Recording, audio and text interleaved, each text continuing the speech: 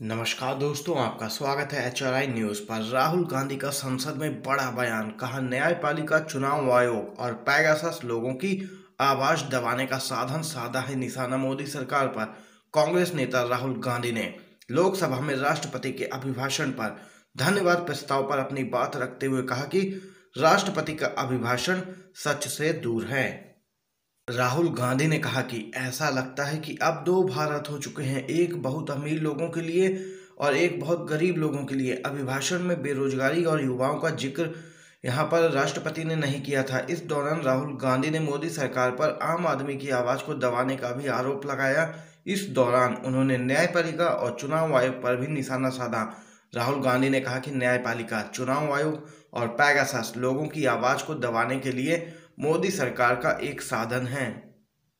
ये तमाम बातें दोस्तों संसद में राहुल गांधी ने कही हैं। क्या आप लोग राहुल गांधी की इन तमाम बातों का समर्थन करते हैं या नहीं, अपनी राय कमेंट बॉक्स में कमेंट करके ज़रूर बताइए। अगर करते हैं तो वीडियो को लाइक भी कीजिएगा, शेयर कीजिएगा अपने सभी दोस्तों के साथ। आप सभी का वीडियो देखने के लिए धन्यवाद दोस्तों।